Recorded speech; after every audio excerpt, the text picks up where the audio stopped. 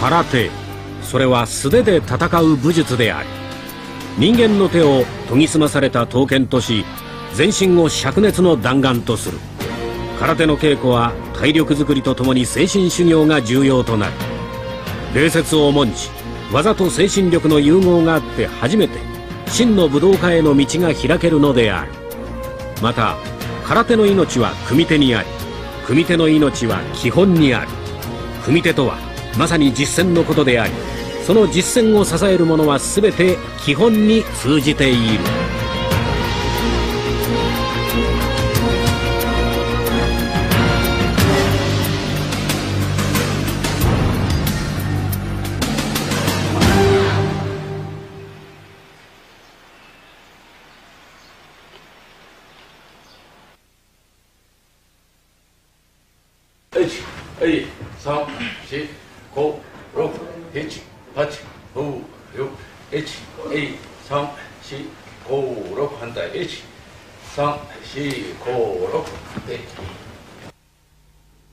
蹴りによる攻撃が最もよく用いられるのは相手との間合いを測る時である。特に前蹴りは有効である。また足の筋力は一般に腕の3倍あると言われている。これを逆に取れば足の力の強いものは上半身の力も強いということになる。その意味でも蹴り技の練習は十分に行うことが大切である。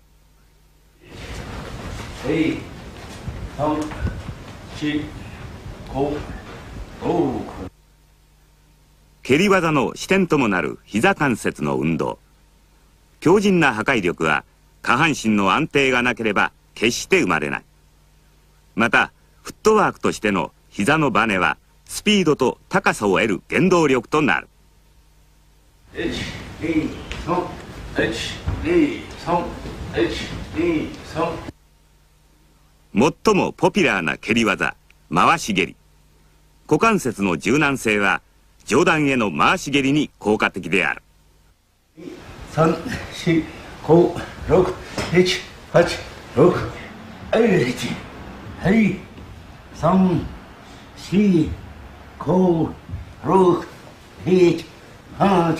4 5 6 1 8 6はいはい。3 4 5 6 1 8九十はいそして1 2 3 4 5どんな蹴り技も膝が完全に伸びきっていないと破壊力は少ない。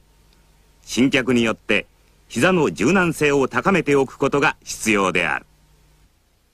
へい。はくじゅえんりへい三四五六七八九十はい一二三四五六八九十はい後ろへ一二三四五六足首の運動はかかとのスナップや回転を良くするためのもので横蹴りの際の重要な運動となる。五、六、七、八空手では下半身の安定はもちろん上半身の安定も重要なポイントとなる。特に腰の硬さは致命傷である。34567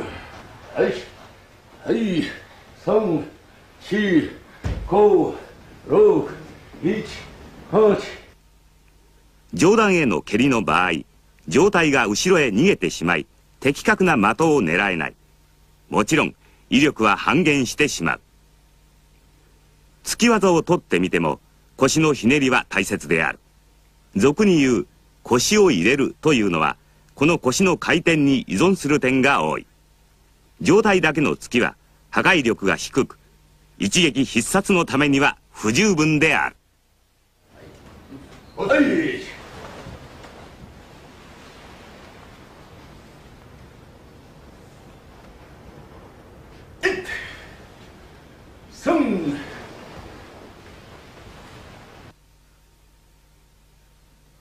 空手の受けの基本である回し受け。片手は上段。もう一方の手は下段を受ける。この運動は回し受けを応用して脇腹の筋肉を伸ばしたり腰をひねったりするものである。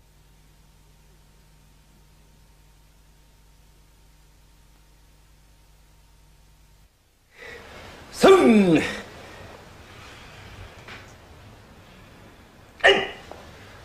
ほう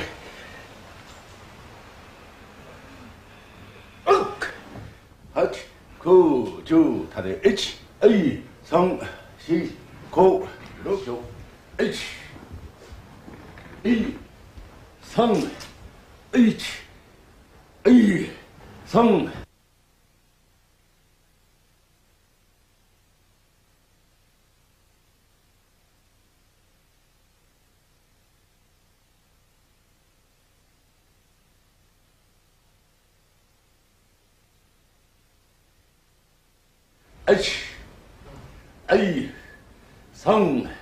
四、五、六。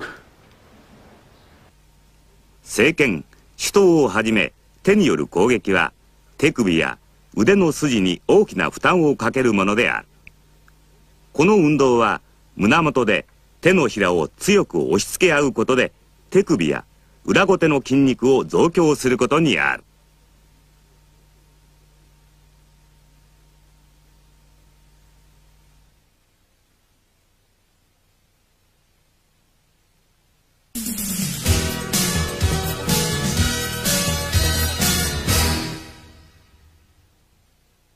三鎮立ちは練習の時に最もたくさん使われている立ち方である。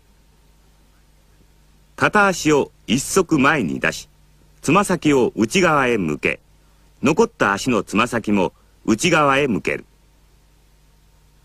この時画面のように後ろ足のつま先と前足のかかとを結ぶ線が相手と自分を結ぶ線に垂直になるように立つ。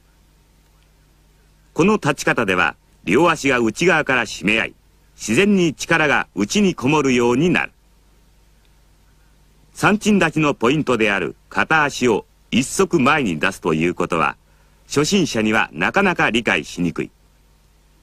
目安としてこのように膝をねじりながら横を向いた時膝とかかとの間に拳が一つ入るようにするとよい。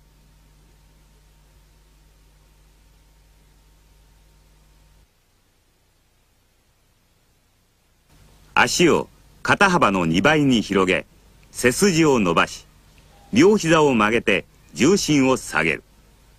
この時両方の足先は正面に向け足を中へ絞り内側を緊張させる。この立ち方は足腰の訓練のために用いる。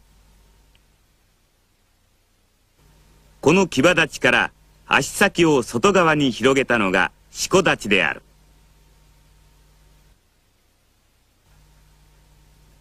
足を肩幅に開き片足を肩幅の2倍ぐらい後ろに下げる。そして前方の足を90度折り曲げる。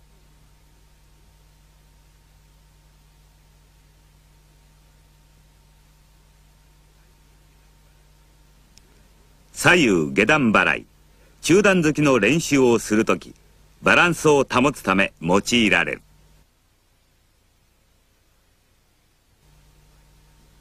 片足を一歩前へ出し中足だけを床につけまっすぐ前に向ける。後ろ足は前足よりやや深く曲げつま先を外へ向ける。前足に34割後ろ足に67割の体重配分を心がける。この立ち方は太ももの力を使うので足の訓練にも適している。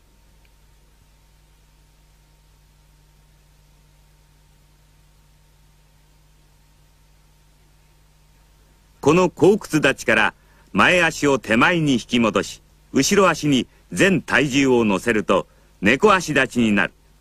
このほかよく使われる立ち方をいくつかご紹介しよう。閉塞立ち。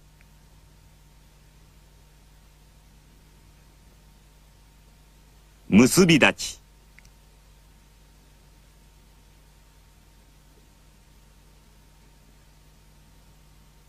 内八立。ち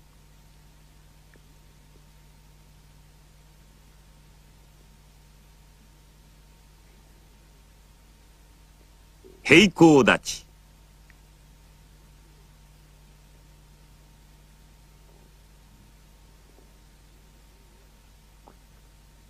不動立。ち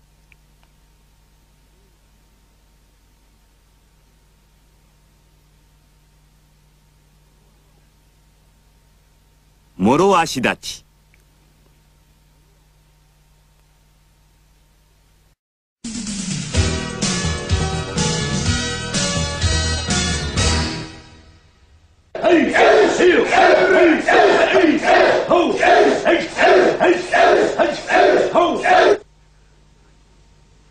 脇下から相手の胸部や腹部をめがけてまっすぐに突き出す。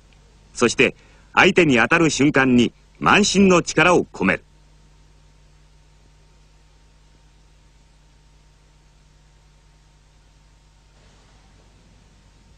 まず脇下に拳を引きつける。この時拳の裏は上を向いている。拳を突き出す時に手首をひねり相手に当たった時は拳の甲が上を向いている。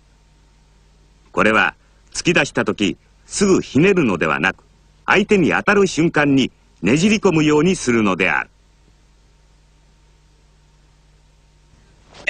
また突き出す時腰を十分に回し腕に体重を乗せる。突き腕ではない方の手は拳を握り突きと同時に脇下に引きつける。これは腰のひねりを助けるためと次の攻撃に備えるという点で重要である。1、2、3当たる場所。よし。口抜くと相手の腹を。分かったよし。ここに肩に力を入れないで。よし。何回目？6回です6回だったらもううまくなったわけです手下ろしておらん力を抜いて下に力入れて手を上げるはい手を敷いたはいこれでいけばいいです入れるのはここここですそして当たる場所ここじゃない分かった？間違わないように。空手の月の真髄を表現するものに三号点という言葉がある。これは文字通り三つの点からなる力ということであり第一の点は探偵。第二に三角筋。そして第三に検討である。腹から出る力を三角筋に伝えその力を拳に伝える。この時拳の小指と薬指に力を込めねじり込む。腹から湧き出た力を最も有効に拳に伝えるように心がければ自然と脇が締まり理想の月へと完成されていく。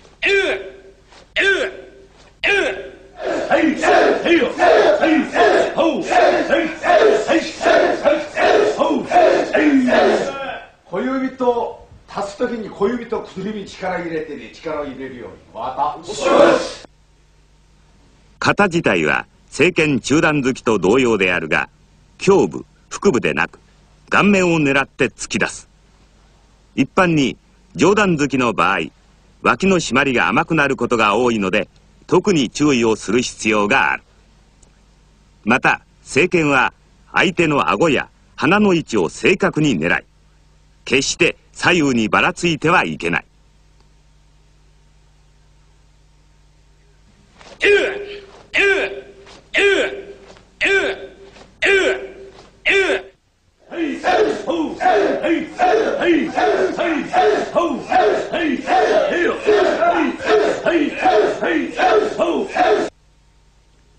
裏剣とは拳の甲を相手に向け肘を伸ばす格好で相手の顔面を打つ技で正剣に比べスピードが速い。これは至近距離の相手を狙うのに特に有効である。もし至近距離から正剣突きを出したとしても肘が伸びきらず破壊力は半減してしまうのである手首のスナップを十分に効かせ相手の顔面を狙い打ち込んだ瞬間に素早く元の位置に引きつける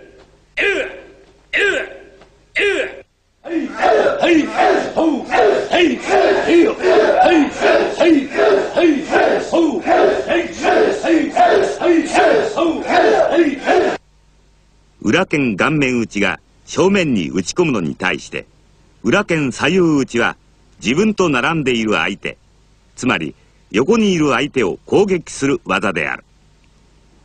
裏剣顔面打ちと同様スナップを十分に効かせ打ち込みと同時に素早く引きつけることがポイントである。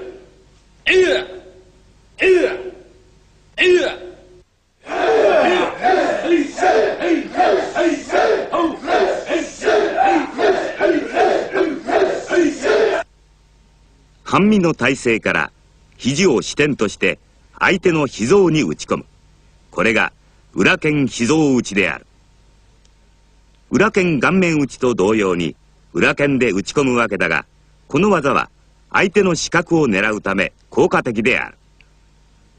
また裏剣脾臓打ちには二通りの打ち方があり肘を曲げた状態で打ち込むものと肘を伸ばした状態で打ち込むものがある。相手との距離によって使い分ける。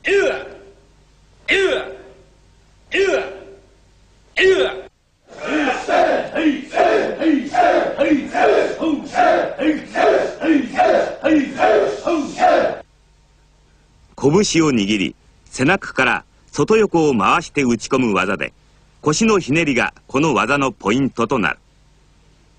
相手の耳側頭部を狙うが横からの攻撃は一般に避けにくいため攻撃の合間に混ぜて使用すると効果がある。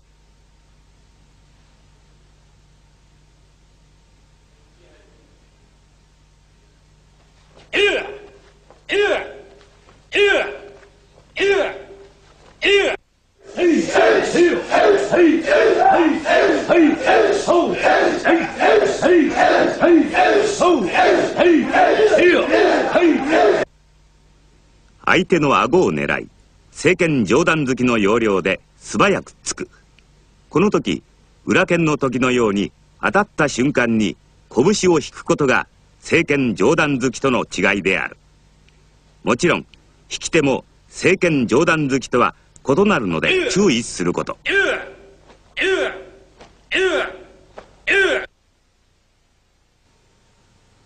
肘を用いて外横から相手の腹部または顔面をめがけて打ち込む。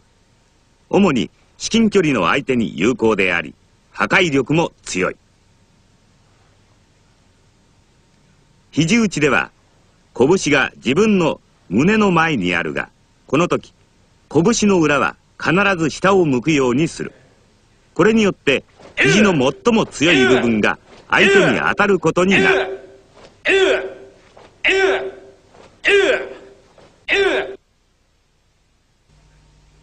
拳の甲を下に向け相手の腹部を狙って突き出す。この時突き出した肘はまっすぐに伸びるのではなく心持ち曲がる感じが良い。下突きは相手に前方から掴まれた時など聖剣突きを打ち出すには距離が近づきすぎている時に有効である。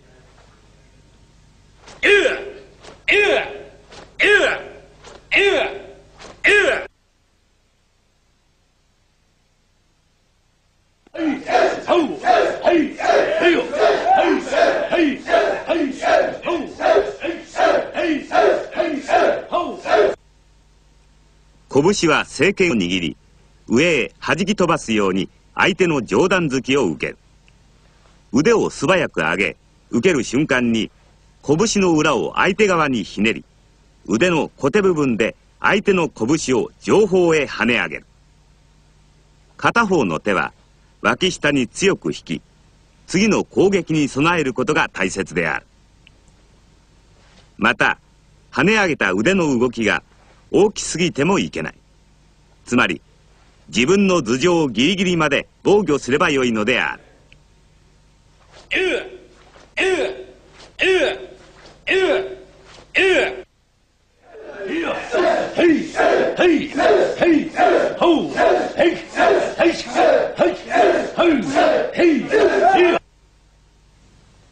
政権を握り肘を曲げ第三急所から最短距離で振り下ろし相手の中段突きを外横へ受け流す。片方の手は上段受けと同様に脇下に引きつける。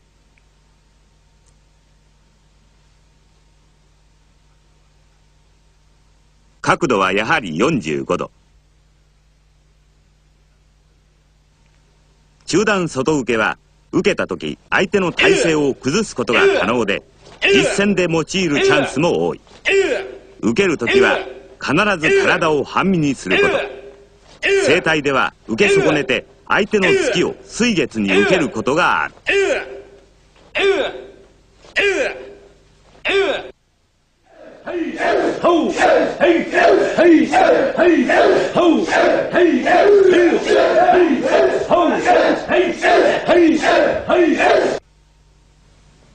中段外受けと対照的な内受け握った拳を反対側の脇の下に入れ内側からひねりながら交差するように胸の前に振り出し相手の突きを外側へ受け流す。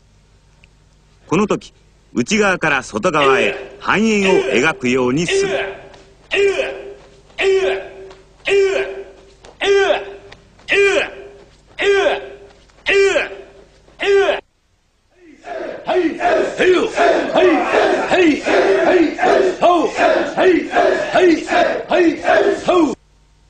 受け手と引き手を顔の横で交差させ受け手は下へ打ち下ろし引き手は脇下に強く引きつける。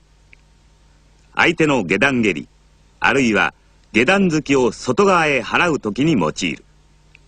特に下段蹴りを受ける場合は蹴りの威力を十分に考慮することが必要である。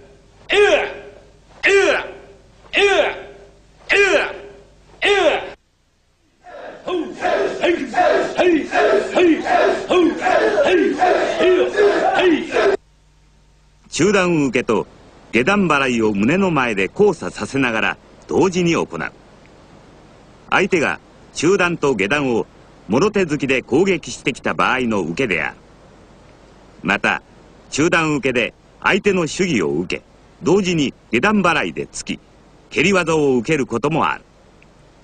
高等技術の受けであるがこれがきれいにできると相手の体はガラ空きになるのでどこへでも攻撃ができる。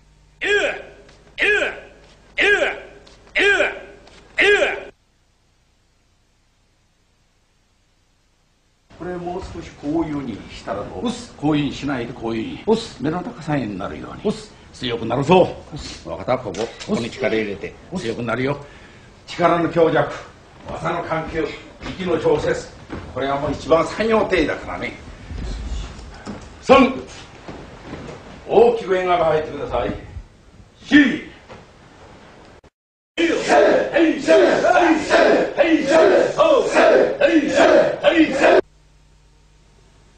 第三急所から手刀で相手のこめかみを直角に狙う。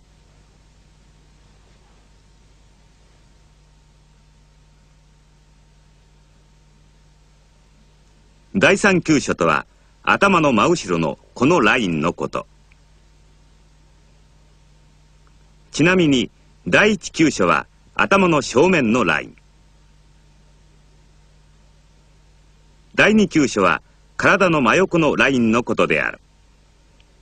死闘においても引き手は必ず行い腰の回転を有効に使う。また肘は伸びきらないことが大切であり腕に全体重をかけ手のひらの感情線と手首の間を相手に当てるようにして打ち込む。二つの手が一つのように動くことが基本である。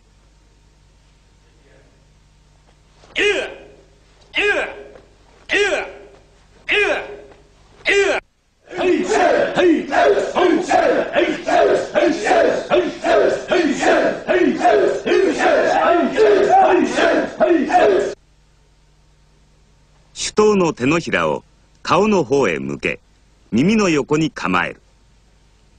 手首をひねりながら手刀を返し相手のこめかみ首などを狙う。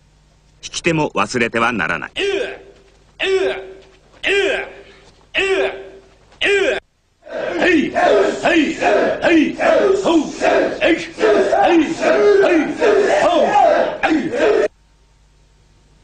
胸の高さから後方に大きくスイングし相手の鎖骨を狙って打ち下ろす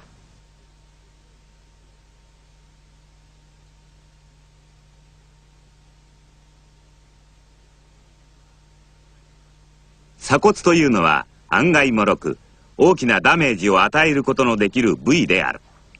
この時腕の振りが小さいと威力が半減するので注意したい。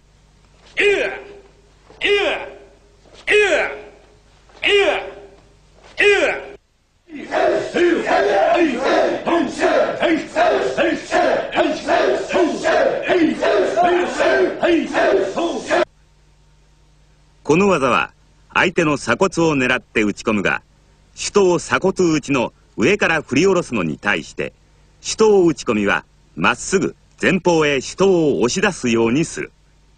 この時小艇が相手に見えないように突き出す。特に相手が前に出てきた瞬間を狙うと効果が大きい。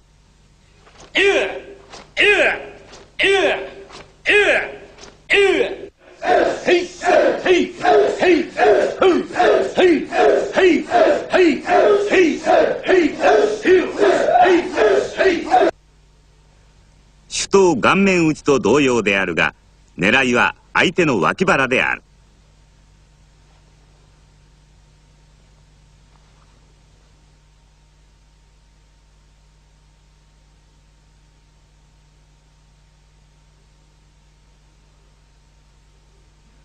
この技は手刀下段打ちとも呼ばれている。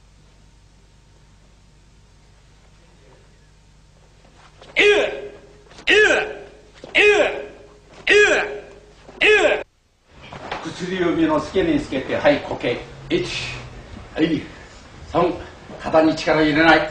4 5 6 7 8 9 10はい親指を。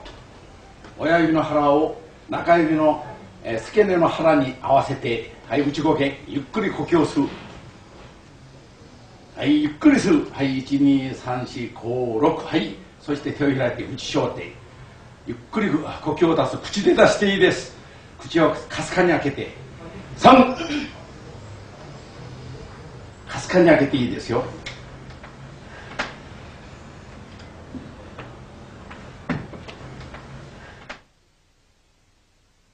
もう体で一番大事なのはね目だよ。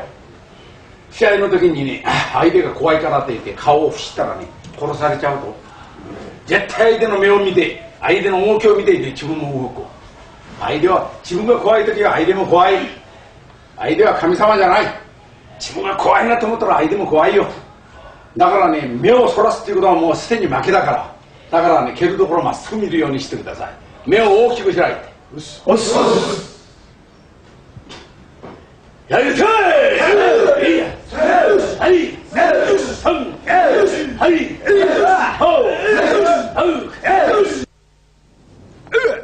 相手の顎を下から蹴り上げる技である膝を曲げずにそのまままっすぐに蹴り上げ中足で顎を捉えるこの時足の指が確実に起きてい。ない。と中足での破壊力が半減してしまう指を十分反らせておくこと中足とは足の裏で指の下側この膨らんだ部分を言う。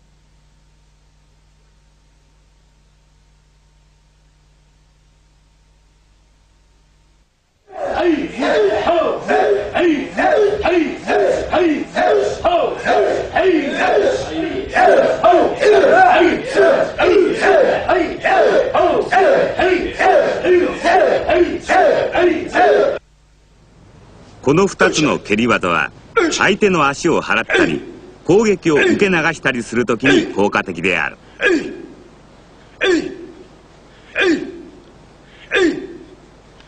このように足は蹴り技ばかりでなく相手の突きや蹴りの防御としても頻繁に使われる。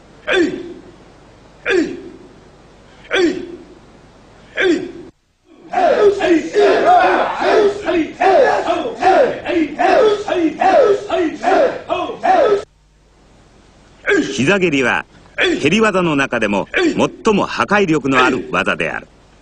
ポイントとしては足首からつま先までをまっすぐに伸ばすことである。そして太ももが自分の胸に当たるように練習する。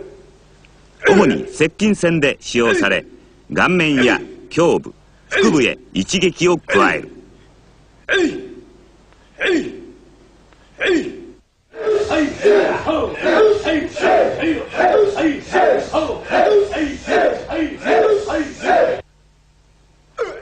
膝を高く持ち上げ背側つまり足の甲で相手の金敵を鋭く蹴り上げ素早く引き戻す。急所なので練習には十分な注意が必要である。もちろん試合では反則技としており絶対に使用してはならない。またこの蹴り技は女性の護身術として広く知られている技でもある。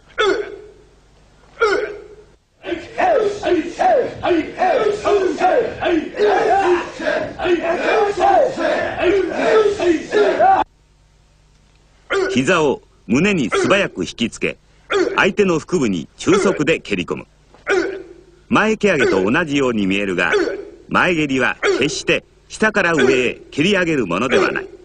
まっすぐ前へ水月に直角に当たるように蹴り出すのである。そのためには膝を強く胸に引きつけて蹴ることが重要である。これは槍を持って相手の腹を突く要領と言える。また蹴った時に上体が後ろへ反らないように注意すること。そして蹴り込んだ足は素早く引くことを忘れてはならない。もし足をつかまれれば最も不利な状態となってしまうからだ。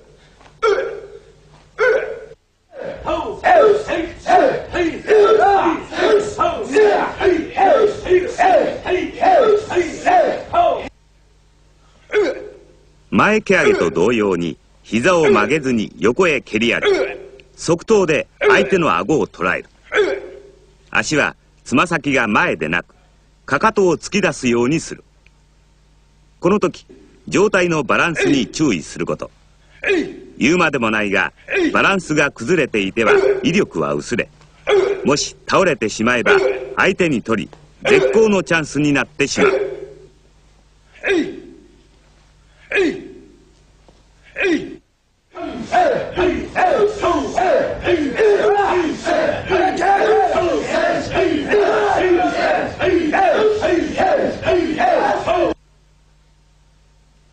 膝を高く引きつけ側頭で相手の顎腹などへ蹴り込む。この時目を相手から離さず十分に腰を入れて蹴り込む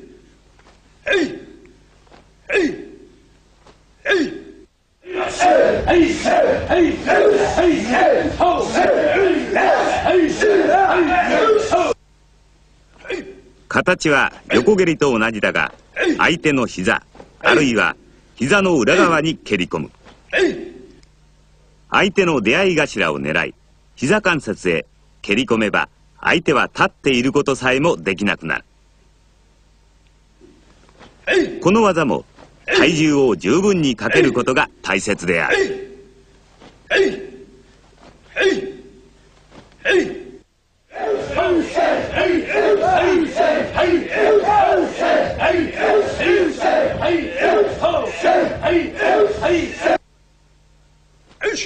蹴り技の中では最もよく知られているが実際にはバランススピードなどなかなか難しい蹴り技である膝を横へ持ち上げ円を描くようにして中足で蹴り込む。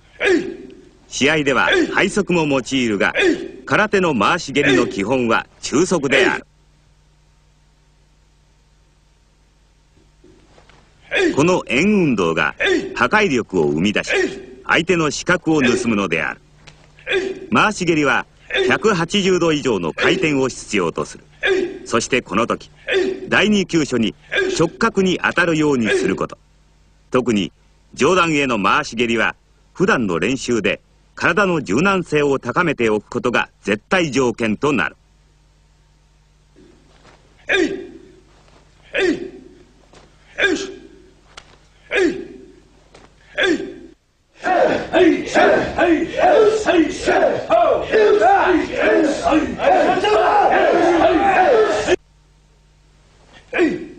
後ろにいる相手に対してかかとで蹴り込む技である。また故意に相手に背中を見せ油断させ蹴り込むことも効果を生む。つまり相手の油断を利用するわけである。蹴り込む足は必ずかかとまたは足の裏全体で蹴り込む。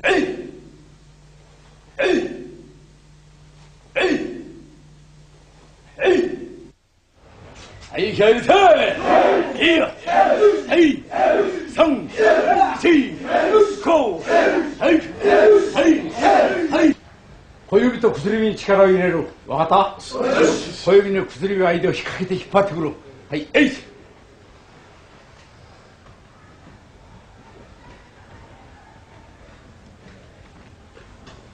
はい。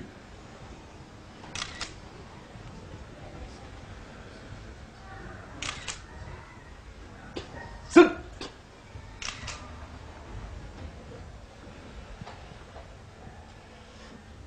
次はね抜き手だからね人差し指と中指を間の腹の中に入れる。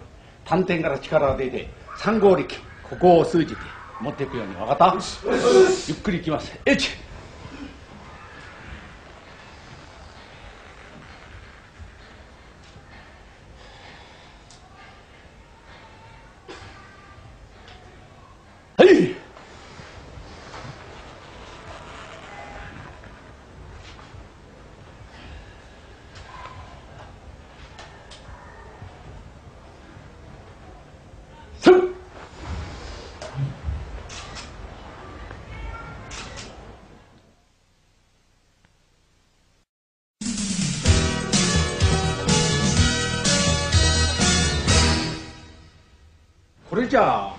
空手における攻撃防御というと手足を使った技ばかりが誇張されがちだが実際にはフットワークすなわち体全体の移動におけるさばきも重要となる。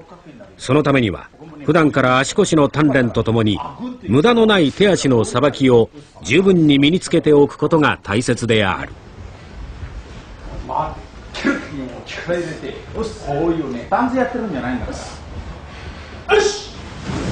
こうして力入れるとえい相手に腹に穴を開けるように小指と薬に力に入れない普段払いの時にはねこうこういうふうになったらこれまともに受けるでしょしかし半身になったら受けられないでしょうがおっケランバレーのが半身おっすく時にまっすぐすくわかったおっ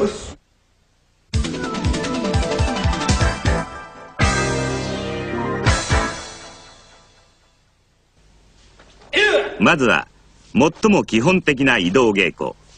聖剣中段追い突きである。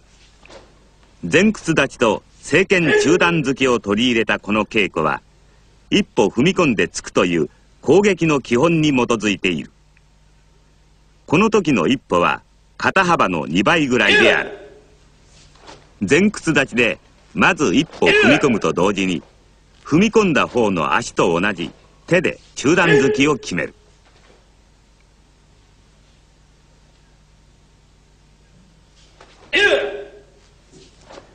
突きを出した時後ろの足のかかとが床から浮き上がってはいけない。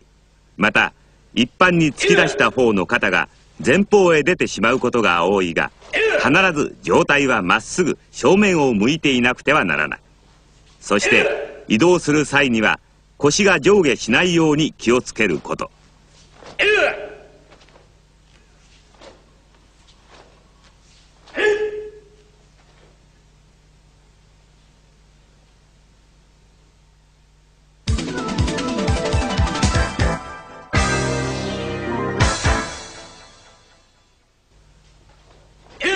足の運びは聖剣中段追い突きと全く同じであるが突き手が逆になる。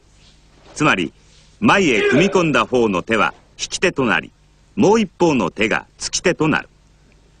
追い突きより破壊力がありまた試合でも数多く使われている技である。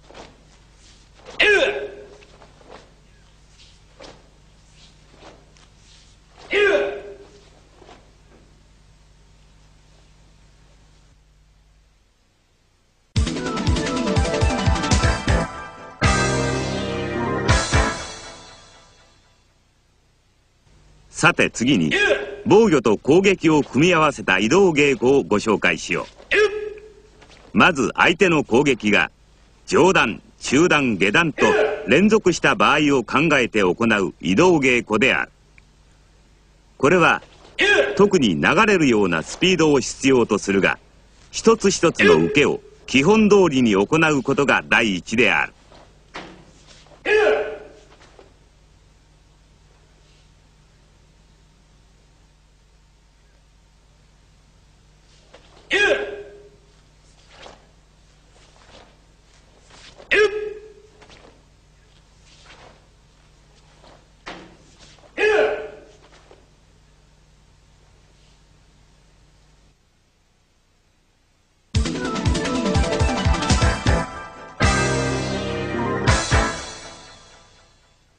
線をまっすぐに定め前屈立ちから一歩前へ進み上段受けそして逆突き。次に一歩進み中段外受けの後逆突き。さらに一歩進み中段内受けの後逆突き。最後に体を回しながら下段払いそして逆突き。少し複雑に見えるが実際は全て基本の組み合わせである。攻撃の前にまず相手の攻撃を防御するわけであるから先を急ぎすぎて受けがあやふやになってはならない。上段中段下段と確実に受けた後に逆突きで攻撃するのである。このように特に防御の場合には相手が本当にいるつもりで目線をまっすぐ向け拳の位置を意識して受けることが大切である。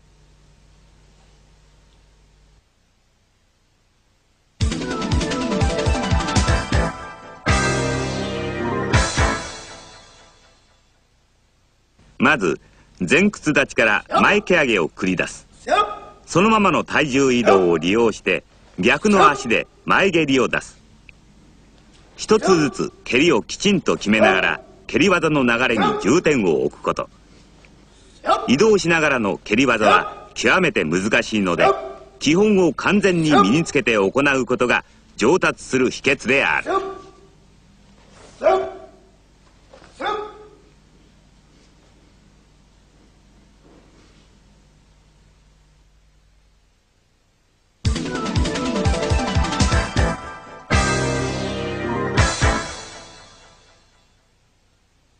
回し蹴りを出した後その回転による遠心力を利用し連続して後ろ回し蹴りを繰り出す次に間に前蹴りを挟み先ほどと同じように回し蹴りから後ろ回し蹴りへとつなげるこの連続技を極心5本蹴りというこの技は相手が交代しても蹴りを出しながら一歩ずつ追い詰めることができる特に回転が速ければ速いほど繰り出される蹴りは威力を増す。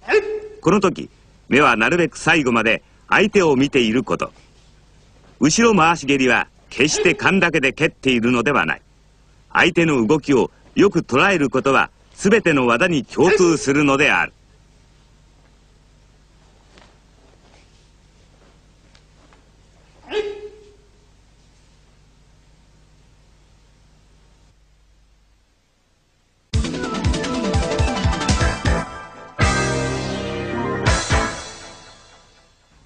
立ち方の基本ともいえる三鎮立ち。一貫で紹介したがここではその移動も含めて復習してみよう。足の幅は肩幅を保ち内側へねじり込むように両足を締める。次に一足ずつ前に進め同様に両足を締める。三鎮立ちの移動では手と足を同時に決めること。これが三鎮立ちでの移動である。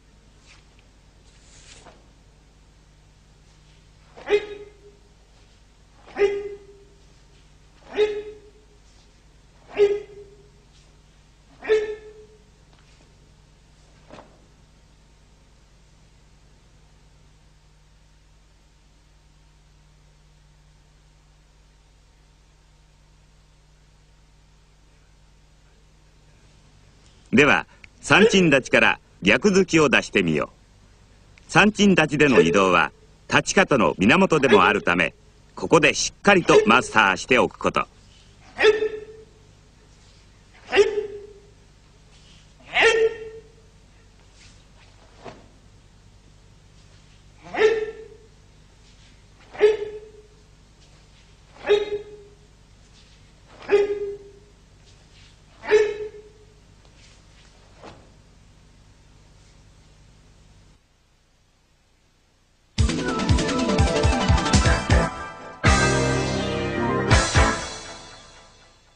牙立ちによる下段払いから逆付きである。角度は45度で進んでいく。ここでは十分に腰を落とすことで逆突きの破壊力を高めることがポイントとなる。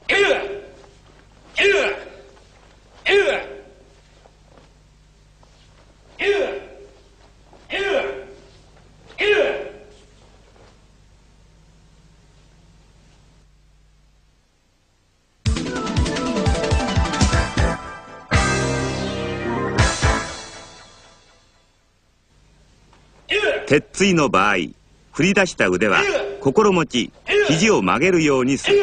そして移動の際には腰が上下しないように気をつける。順突きでは足の幅が決まるまで手を動かさないこと。そしてこの時引き手にも十分気をつける。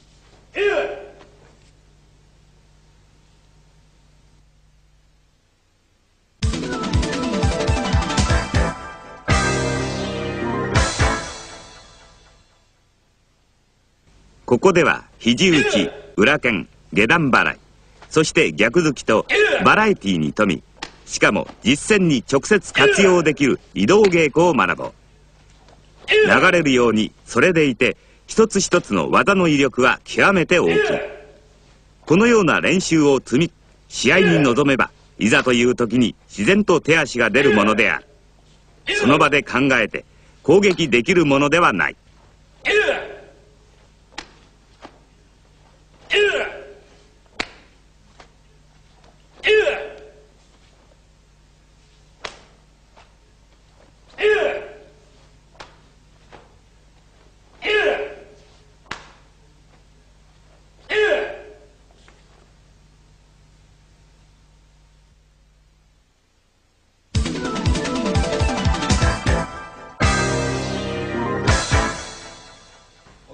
最後に回転運動をプラスした蹴り技を紹介しよう。体を回転させながら一歩踏み込み前蹴りを決める。この時バランスが崩れていると的確な位置へ蹴り込むことはできない。素早く回転し正確な前蹴りを打ち込むよう努める。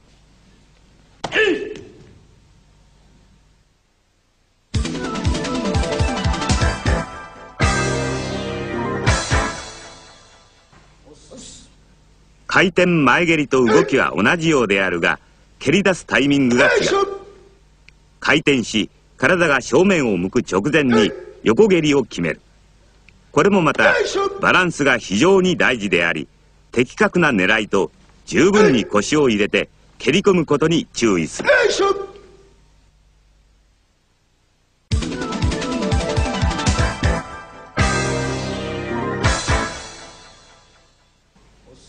回し蹴りに回転を取り入れたものでバランス感覚の練習であるこの練習はスピーディーにかつ正確に行うことがポイントである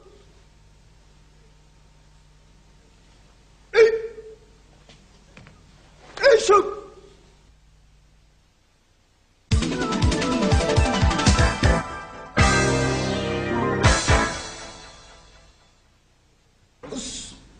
回し蹴りを主体としたもので実践にかなり応用の利く移動稽古である。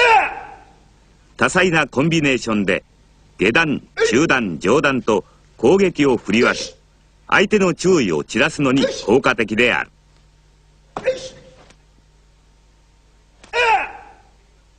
これに限らず蹴り技の連続の時には攻撃目標に対しまっすぐに移動していくことを心がける。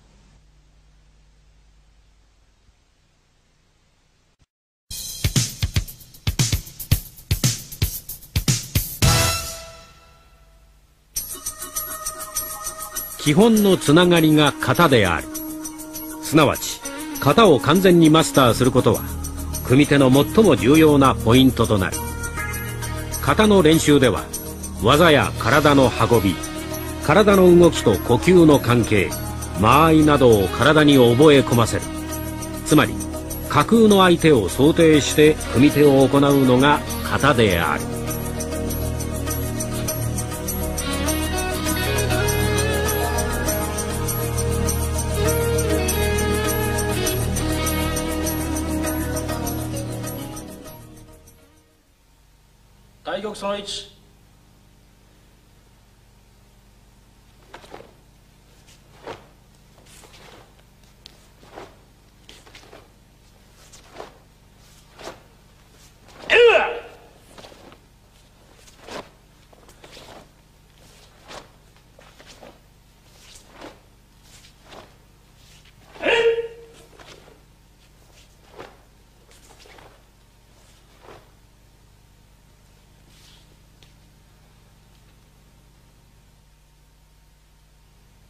対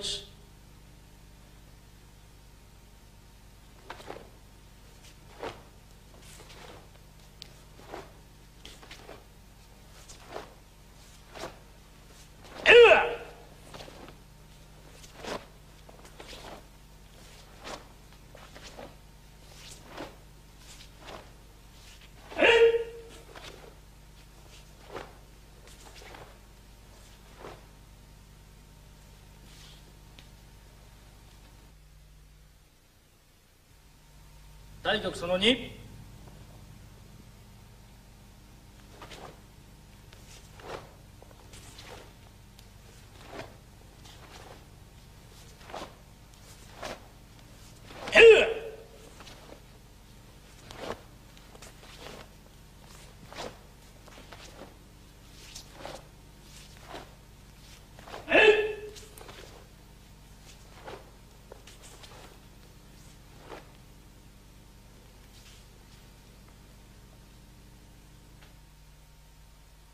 対局その2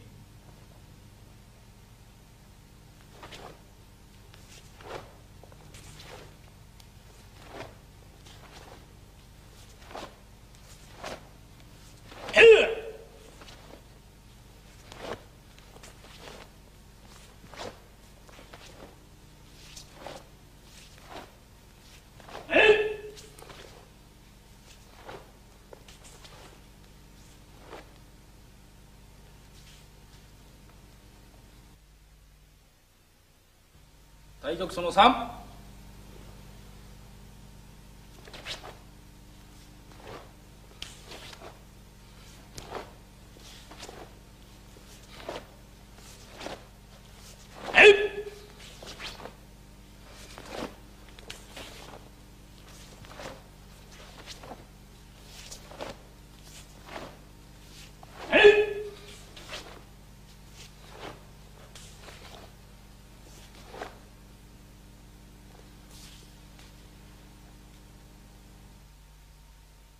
題曲その3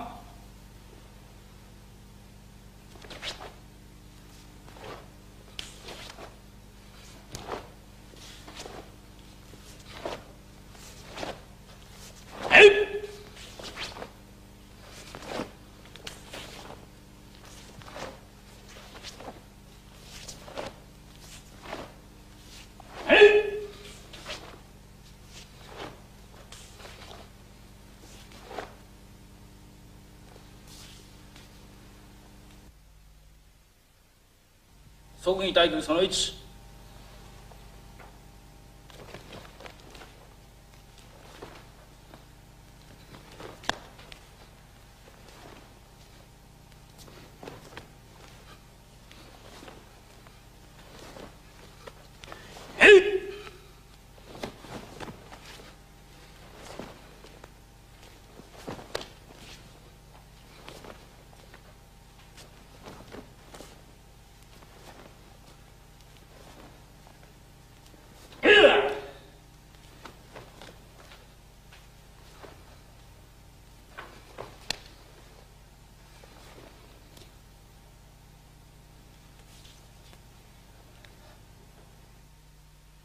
即位対局その1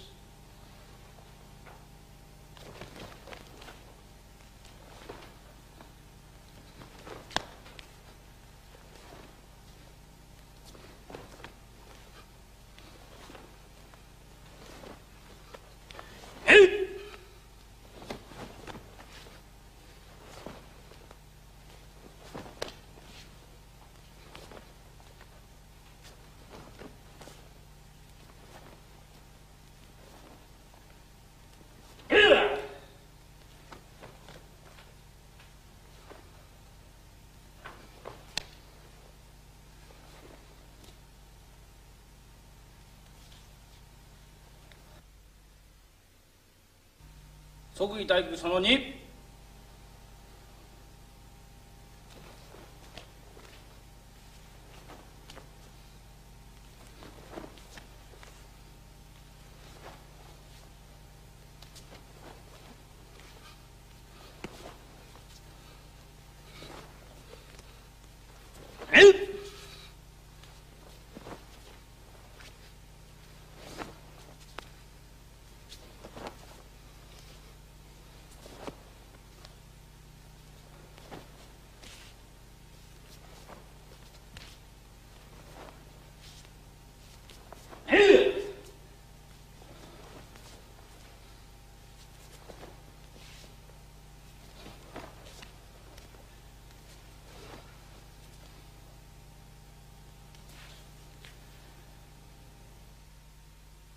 即位大局その2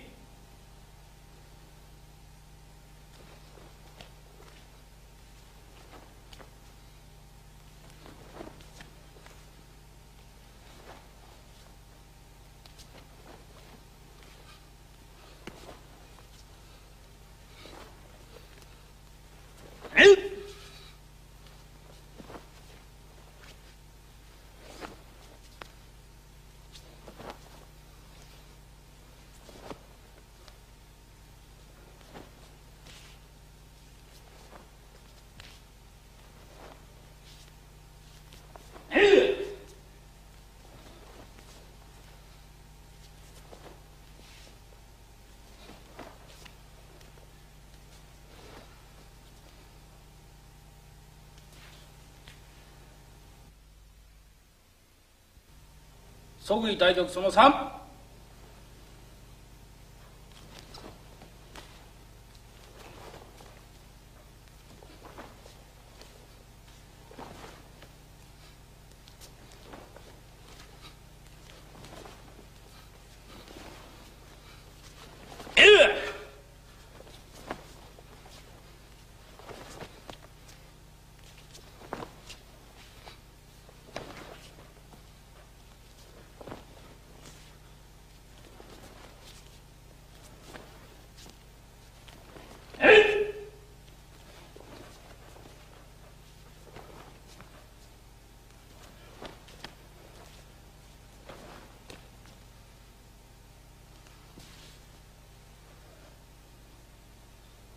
即位対局その3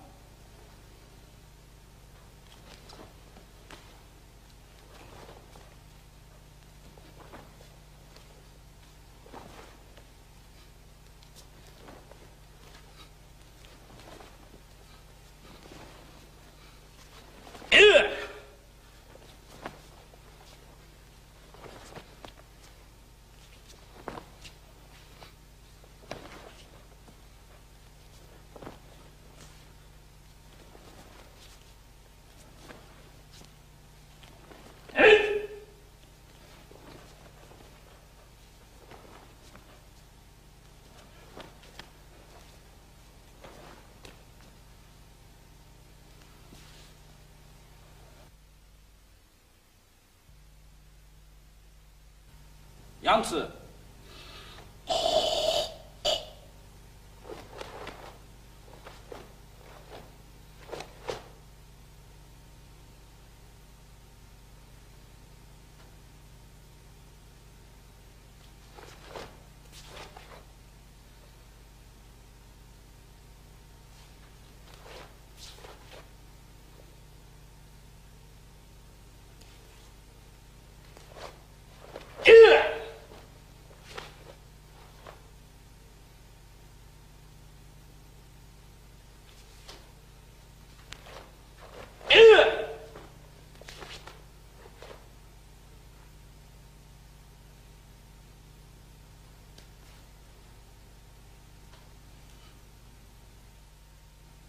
杨子。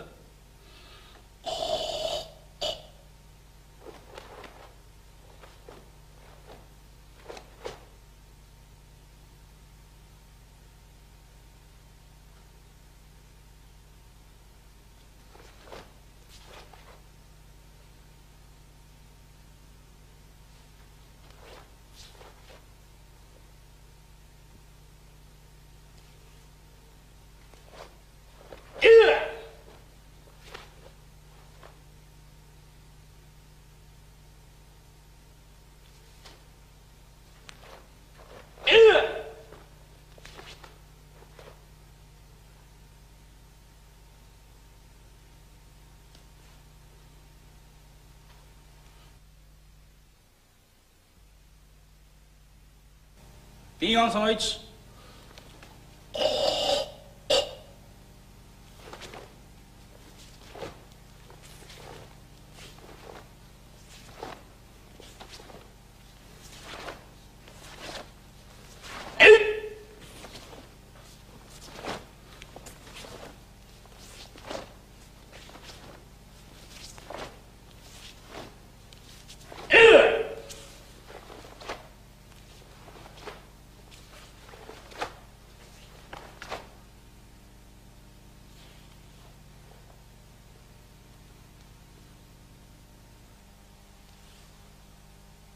1ビン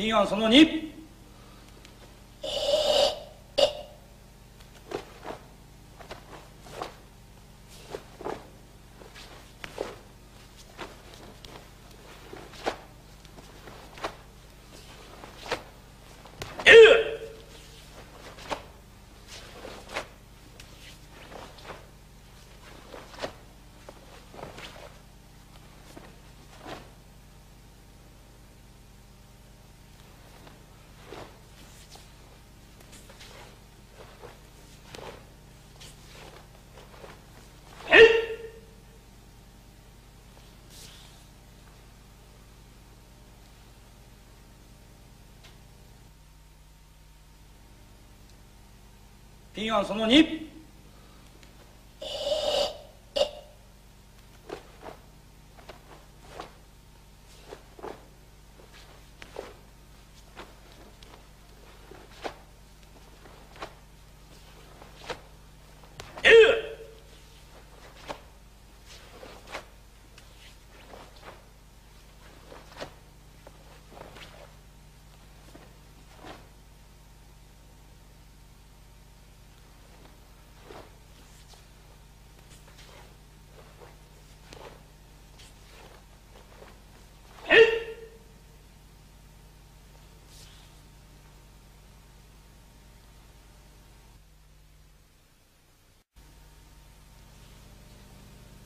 ピン案その3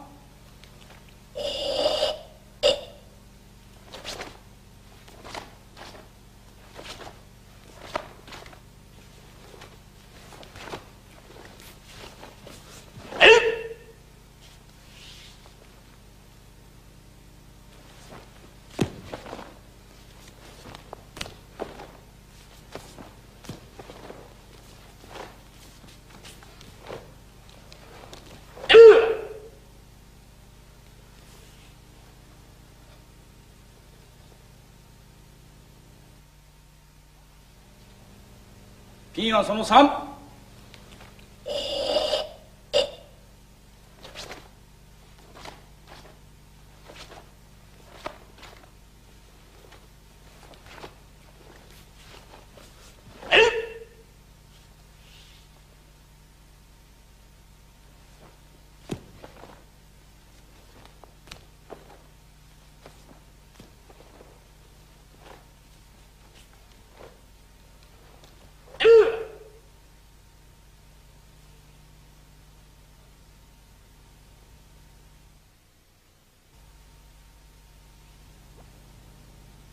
ピン案その4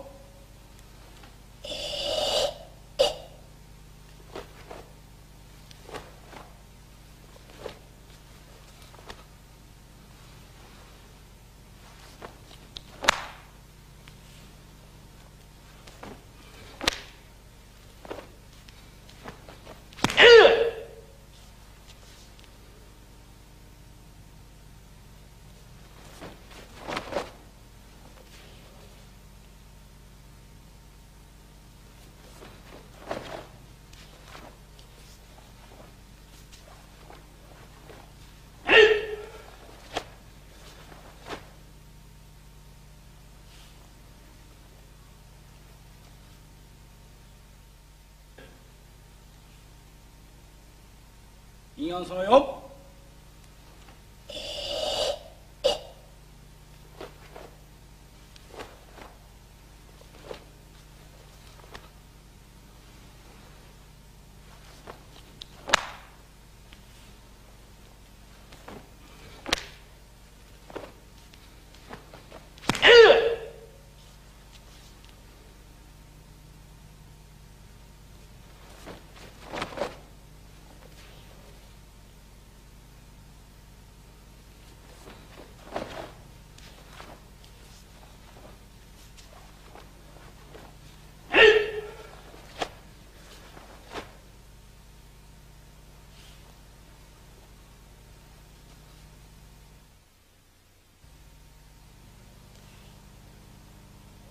金案その後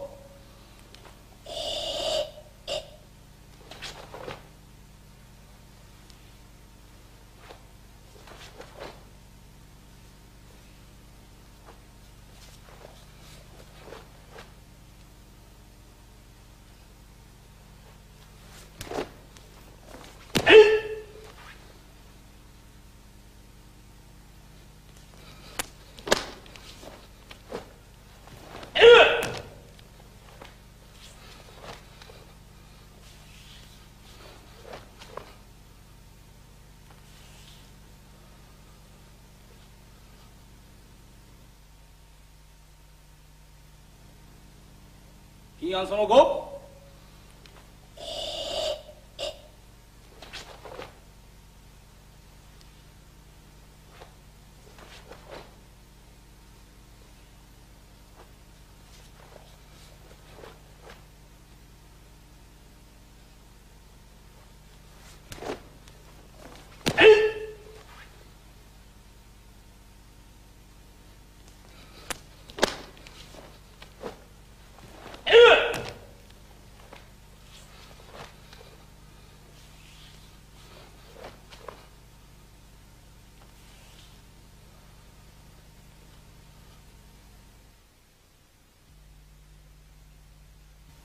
精一杯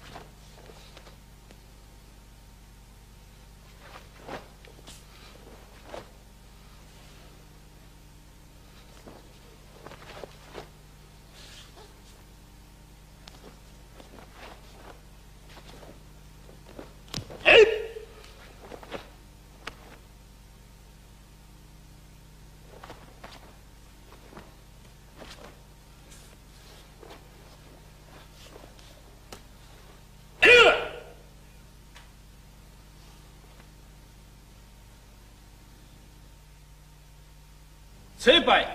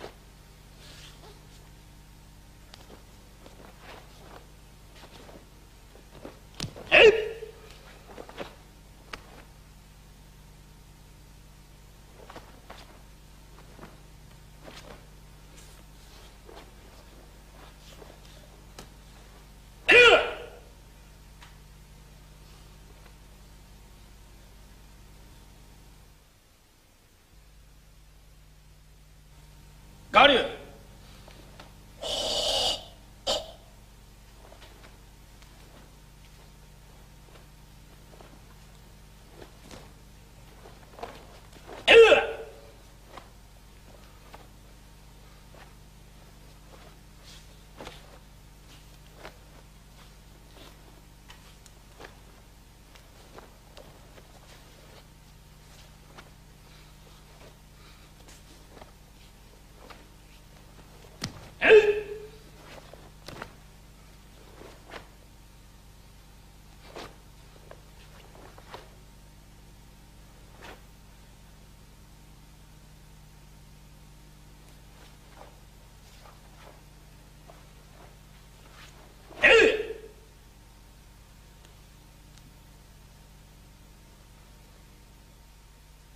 ガリュー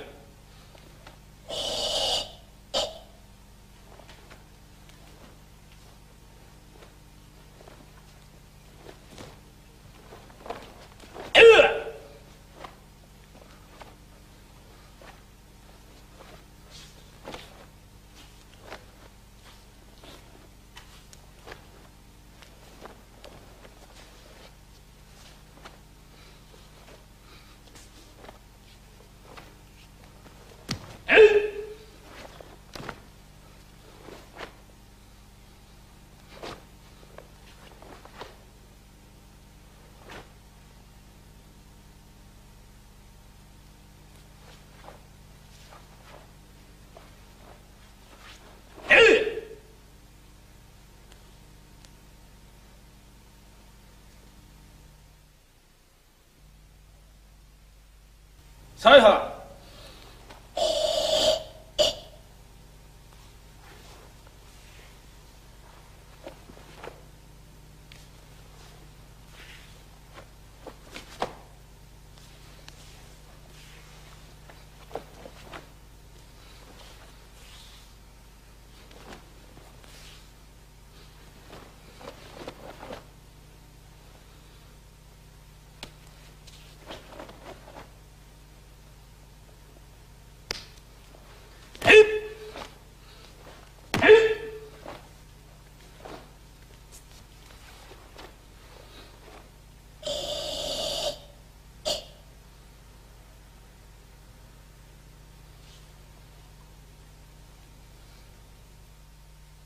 流我流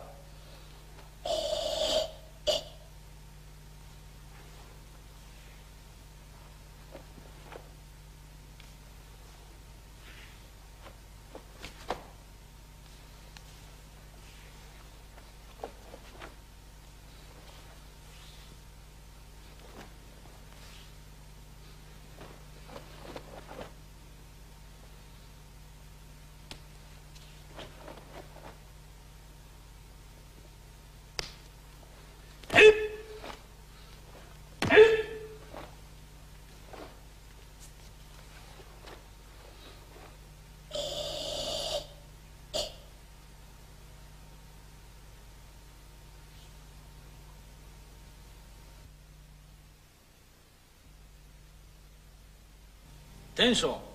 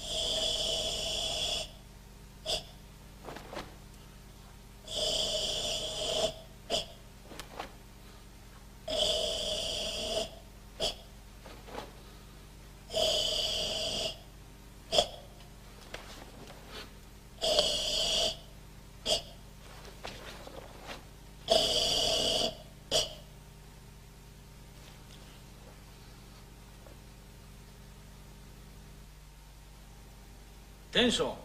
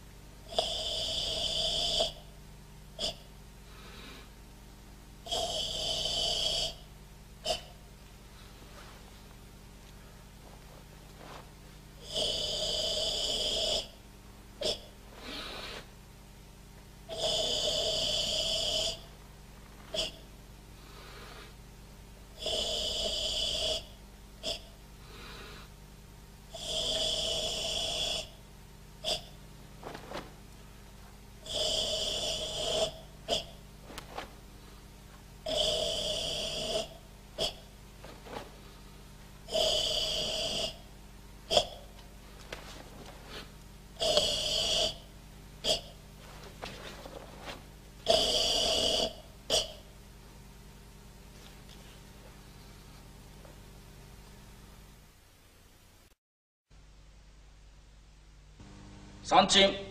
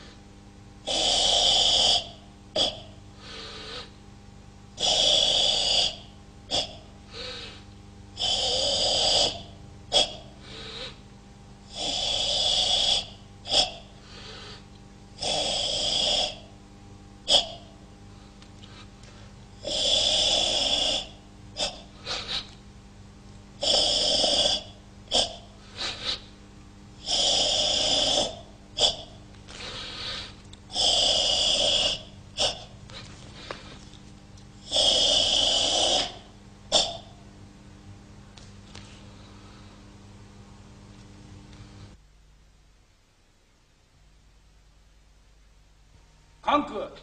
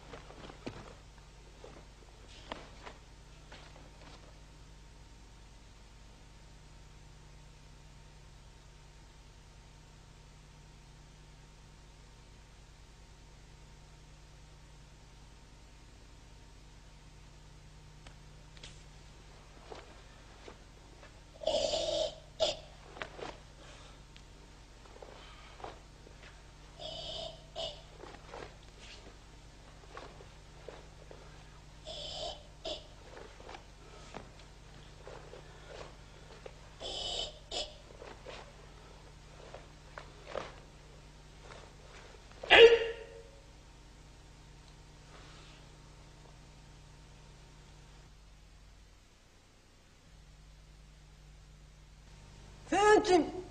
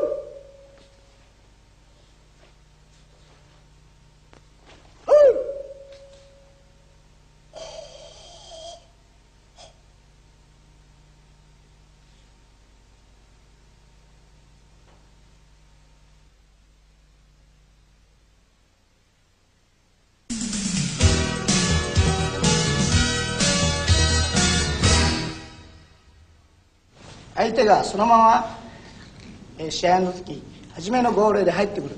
その時に相手のにこの攻撃を入れる役割もありますし相手の攻撃を止める。止めて次の攻撃に行きます。まずこの左で突破口を作っていきたいと思います。来たらそのままバン！これが、えーまずかあの相手を止めるまたはカウンターの回し芸です。もう一つはお願いします。相手が攻撃内側の下段または奥外でもいいです。に蹴ってきます。これに合わせてガードが下がってる場合そのまま顎こめかみに入ったらあのこの一発で技あり取れるか倒れてくれるかだと思います。えい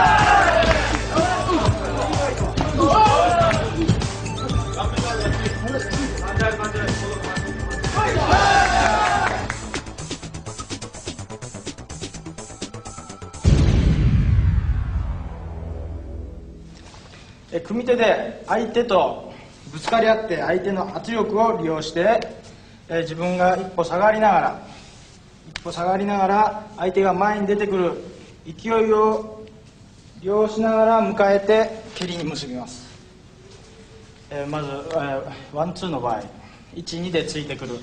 その時に合わせて体は一歩引きますが足は一歩引きますが重心は前に残して前に出る心持ち。これを忘れないように。前に出る心持ちで素早く首から肘肩腰を素早く引っ張りながらかかとでかかとで相手のこめかみ首筋を捉えるように蹴ります、はい。ね、その時にできるだけ相手との前を近く近く下ろして受けたらその動作をその勢いを利用してこのまま相手の急所にかかとをぶつけるように蹴ります。もう一度やってみます。シュッ